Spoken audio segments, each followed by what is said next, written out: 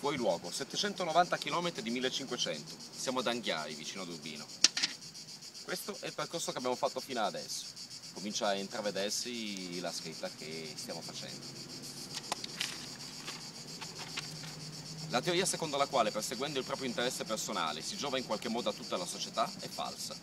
Ha dimostrato tutta la sua limitatezza e ci ha condotto a questo mondo del tutti contro tutti mondo in cui pochi potenti approfittano delle spaccature sociali, dell'insicurezza, della mancanza di coesione e della solitudine per portare avanti il loro regno di sfruttamento e di tiranide senza che nessuno abbia il coraggio di alzare la testa. Da solo che cosa vorresti mai fare? Vuoi combattere per un mondo migliore in un contesto sociale nel quale ciascuno pensa al suo angoletto personale e basta? Vuoi fare il gioco degli altri che mentre tu ti impegni per trovare alternative a questo sistema di speculazione, gli altri invece vanno avanti giocando secondo le regole di questo sistema? La verità è che nessuno sta andando veramente avanti. Questo sistema prima, prima o tardi collasserà, anzi lo sta già facendo, e noi siamo mostruosamente impreparati, sia individualmente che socialmente, ad affrontare questa crisi. Cambiarlo dall'interno, raggiungendo prima posti di potere, è un intento più che lodevole ma assolutamente fallace.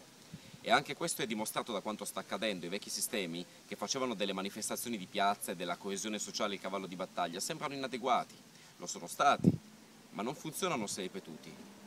Un'interpretazione più corretta è che questa crisi è nuova, assolutamente sconosciuta. Non sappiamo dove ci porterà, oppure pensiamo di saperlo e supponiamo di poter salvare sempre il nostro angoletto personale, e soprattutto i vecchi sistemi non funzionano più.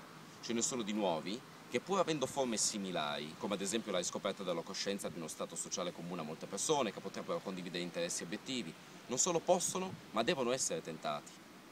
Chi la pensa così non è una minoranza, è una maggioranza. La maggioranza ma ciascuno che fa parte di questa maggioranza pensa che non basti avere consapevolezza, e questo è giusto, che le variazioni che si possono tentare non serviranno a nulla contro le mostre di potere di oggi, questo invece è falso, e che da soli non si può fare nulla, è falso, perché anche se tutti si lamentano allo stesso modo sulle stesse cose, non si va da nessuna parte, perché ci si limita all'espressione e non all'azione. Davvero penso che averci allettato con l'individualismo, nascondendoci il suo retrogusto di solitudine, sia stata una mossa meravigliosa da parte del potere per renderci inoffensivi.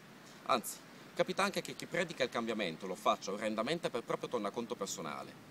Dare ragione sulle lamentele a chi si lamenta ma si sente con le mani legate è una straordinaria operazione di, operazione di marketing, molto efficace.